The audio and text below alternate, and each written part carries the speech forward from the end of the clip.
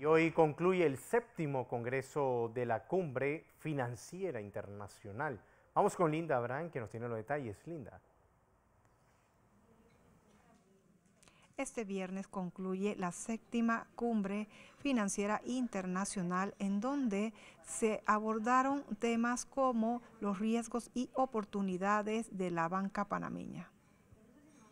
Tenemos aquí presentes en Panamá una, serie de distinguidos conferencistas, tanto panameños como extranjeros, que vienen a eso precisamente, a, poner a la comunidad bancaria al tanto, a discutir, conversar sobre esas tendencias eh, macro a nivel mundial pues, que impactan a la actividad bancaria. ¿Como cuáles, por ejemplo? Bueno, todo el proceso de digitalización, todo el proceso de digitalización de la banca, el advenimiento de las monedas digitales, las criptomonedas, eh, tenemos el tema de la economía, cómo se está, cómo se vislumbra eh, la economía a nivel mundial, a nivel regional, a nivel panameño.